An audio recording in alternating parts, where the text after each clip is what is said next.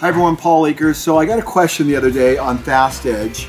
Uh, someone bought some cabinets from IKEA and they would like to edge band over the existing edge band. They want to change the color. Let's say you have a maple interior, you have black doors, you want the front edge to be black. Can you go over the existing edge banding or should you pull it off? In my opinion, you should go right over the top of it. Don't pull it off. You'll get a lumpy bumpiness from the automatic edge bander. When you pull that off, it won't be a good surface to go to. But you need to do a couple things to make sure it comes out right. So number one, a little bit of alcohol on a rag and we're putting it on the edge here just to take off any wax, grease, grime, or anything like that so it's clean and we're not trying to adhere to anything dirty, particularly if it's a cabinet that's been installed for a while. That's step one. The next step that I recommend is sanding this. Now, you always need to test this before you do anything. Don't do anything just carte blanche, test it, make sure it works. Now I took a piece of our FastBreak sandpaper 80 grit, you can take any 80 grit sandpaper, put it on a flat block of wood. Now, the critical thing is when you sand here, you cannot roll the edges. If you look at this edge, it's got a slight little roll to it already from the automatic edge bander.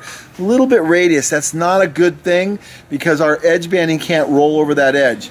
It might work, we're gonna test it, we're gonna see what happens. But the first thing I'm gonna do is I'm simply gonna take my sand block like this and I'm just scratching the surface, making sure not to distort the edge by rolling it. It's so important you do not roll the edge. Everything flat, crisp, and clean, and that's it. Then I'm going to take that same rag, denatured alcohol, and I'm just going to take off the debris. What I've done is allowed some teeth for our adhesive to bite into now. So there you go. That's done. I don't like the rolled edge, but we'll see how it works. Then I've got my piece of new FastEdge right here. I'm going to peel it off. And I've cut it pretty close to length. It's a little over right now. I'm going to lay it on there like that. Okay, so this is uh, Folkestone Gray right here. Look at I, I missed it right there, so I'm going to relift it back up and pull it nice and straight. That's the nice thing about FastEdge. You can do that with it. First thing I'm to do is roll it lightly, just a little bit with our speed roller, metal wheels. Then I'm going to trim it right here. So I take the flush cut trimmers and trim the edge just like that. Trim both sides. It does a really nice job. It's really fast and really easy. If you don't get it perfect, you can come right back and trim it again. You can just nip it up really nice. It's really kind of a cool tool. We'll look at this one. Yeah, it looks pretty good. I might be able to go just a little bit more. No, it looks like I'm, I'm there. It looks like I got it pretty much all the way. Now we're going to roll it really hard. This is the important part. And the reason why you want to roll so much is we're using 5.5 mils of acrylic adhesive. Uh, uh, it's a big ice cream cake of adhesive. And we don't want it just setting on there. We want it to be pushed down into the grain. In this case, we created the grain by sanding it with 80 grit, okay?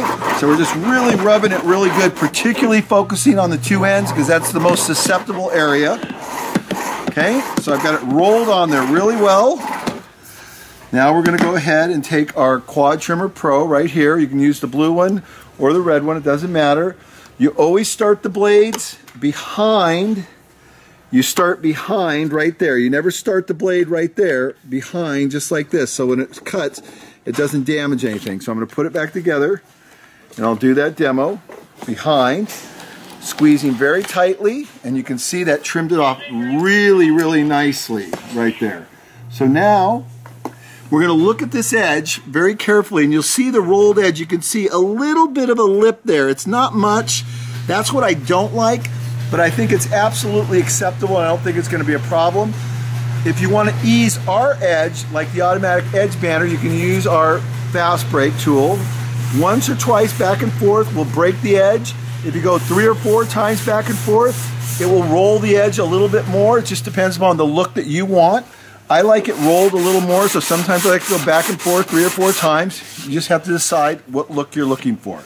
So there it is. Now, we've just put that on, and I want to peel it off though, because I want to show you how it sticks so you can see. If you do it this way, you should not have any problem. Don't miss any of those steps.